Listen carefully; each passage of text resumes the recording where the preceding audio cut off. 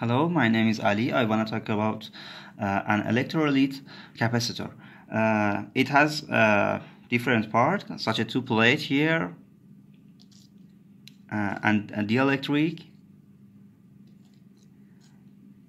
uh, and a cover to protect it and, and a cover which show the value of the capacitor, such a voltage and the capacitance we can't uh, find out uh, the negative and positive plates uh, from the cover. Here it's sign of the negative. And a shorter place is negative. So I want to charge it.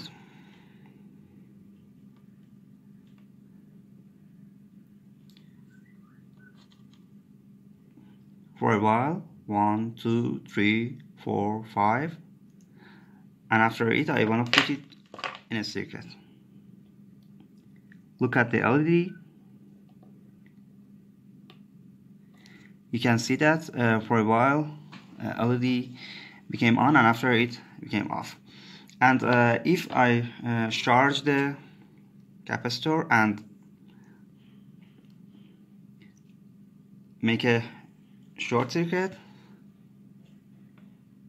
one two three four five. High voltage. And now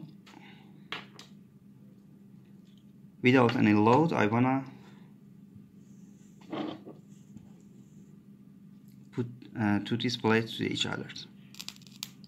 You can see that we have a such a this.